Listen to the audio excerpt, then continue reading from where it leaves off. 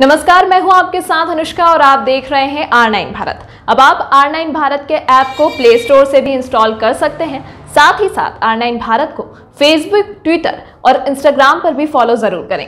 बारिश और ओले पड़ने से फ़सल की हुई नुकसान के मुआवजे को लेकर किसानों ने प्रखंड मुख्यालय में किया प्रदर्शन। सोमवार को प्रखंड के लाली लेवार थमहन, पैराम, टिहाना पंचायत के सैकड़ों किसानों ने प्रखंड मुख्यालय में फ़सल नुकसान मुआवजे को लेकर प्रदर्शन किया। प्रदर्शन के दौरान किसानों के हाथ में फ़सल हुए नुकसान का तस्वीर लिए विरोध जता रहे थे। साथ ही किसानों के द्वारा प्रखंड अधिकारी ऐसी मुआवजे का मांग कर रहे थे। बता दें की बारह जनवरी को प्रखंड क्षेत्र में बारिश के साथ आसमानी ओला गिरने ऐसी किसानों के खेत में लगाए फ़सल बर्बाद हो गए। किसान महेंद्र यादव, राजू यादव। परमू यादव, मेघन यादव, ब्रह्मादे यादव, उमेश यादव, सत्येंद्र यादव सहित सैकड़ों किसानों ने प्रखंड मुख्यालय पहुंचकर विरोध प्रदर्शन किया और कहा कि जिस तरह से हम सभी किसानों पर प्राकृतिक आपदा का कहर बनकर टूटा और लगाए फ़सल बर्बाद हो गए, ऐसी कठिन परिस्थिति में प्रखंड प्रशासन आज तक फ़सल देखने तक नहीं है यहाँ तक की हम सभी किसानों के बारे में जानने का प्रयास नहीं किया। किसानों को इस बड़ी आपदा में क्या गुजरना, किसानों के ऊपर इस बड़ी आपदा में क्या गुजरता होगा, ये कोई देखने तक नहीं आया कि कैसे परिवार का भरण पोषण करेगा। अगर यही प्रशासन का रवैया रहा और जल्द ही मुआवजा राशि नहीं दिया गया तो हम सभी किसान उग्र होकर आंदोलन करने के लिए बाध्य हो जाएँगे।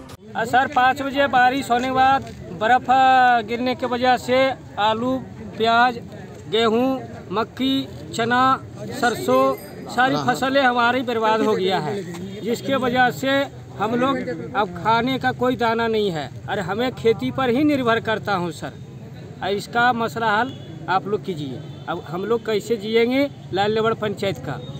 ग्राम कटरा चुपाल पोस्ट चरका पत्थल थाना सोनह जिला जमुई बिहार। अभी आप लोग जो यहाँ आए हैं उसका क्या मेन वजह है? मेन वजह यही है कि सीओ साहब से हम लोग अनुरोध करना चाहते हैं प्रखंड अधिकारी से कि जितना भी किसान भाई लोग एकत्र आए हैं इनके प्रति जो है हमारा कुछ सहयोग सरकार से निवेदन किया जाए।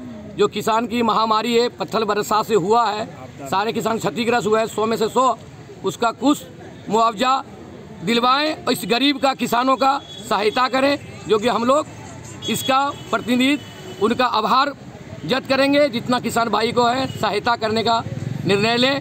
सीओ साहब से यही कहता हूँ प्रखंड अधिकारी से जो कि हम लोग सब किसान भाई को सहायता करें इनका कुछ कार्रवाई आगे बढ़ाएँ ये नहीं कि प्रखंड में ही दब कर रह जाए जिला तक जाए राज्य तक पहुँचाने का कष्ट करें। जय। जमुई से सदानंद कुमार की रिपोर्ट। नमस्कार मैं हूँ आपके साथ अनुष्का और आप देख रहे हैं आर नाइन भारत। अब आप आर नाइन भारत के ऐप को प्ले स्टोर से भी इंस्टॉल कर सकते हैं। साथ ही साथ आर नाइन भारत को फेसबुक ट्विटर और इंस्टाग्राम पर भी फॉलो ज़रूर करें।